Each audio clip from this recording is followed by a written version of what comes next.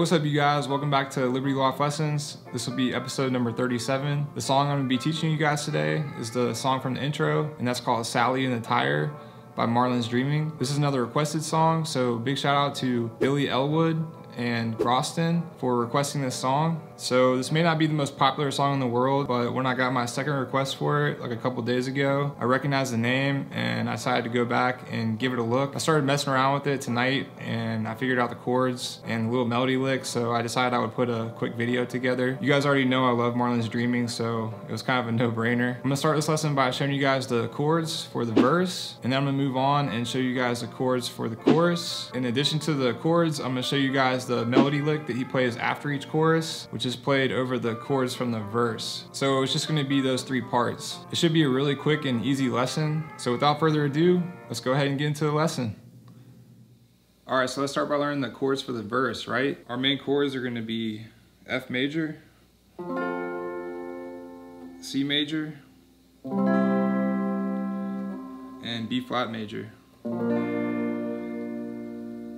how we're gonna play it is we're gonna pick the root note and then quickly go to the next chord and pick the root note again.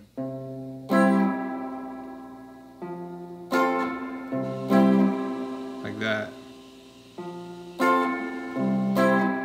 After the third one, we're gonna go to the B flat major, pluck the root note, and we'll go So a slow strum down and then we'll pick the bottom strings. So kind of like that. You can have some fun with it. Cool. So let's go ahead and loop that and then we'll come back to that loop and play the melody over it. So once again.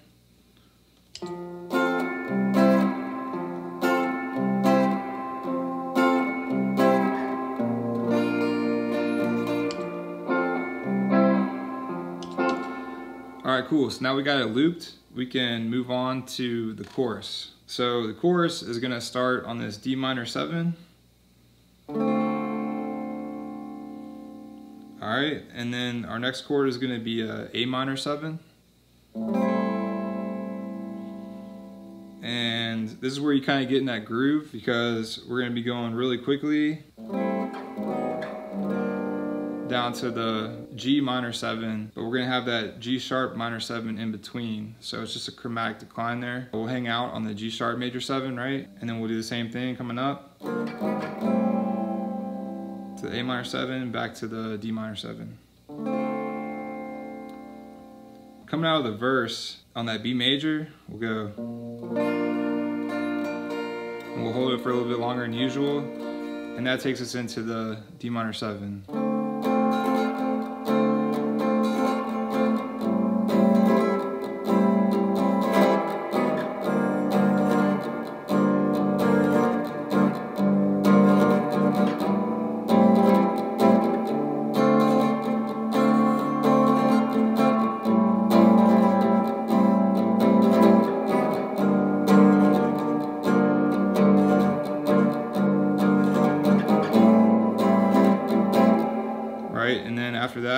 Into the verse. So I'm gonna go ahead and start the loop that we already made and show you what the melody sounds like over that verse chord progression.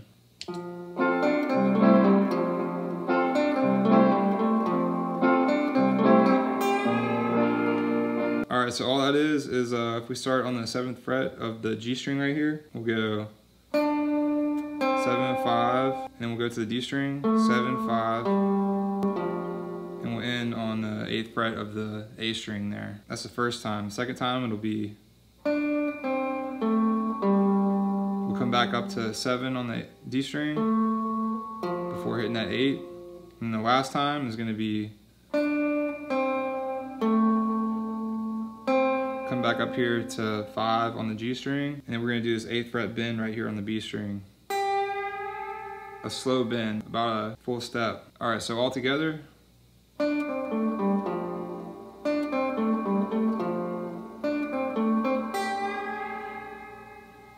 right? And with the loop,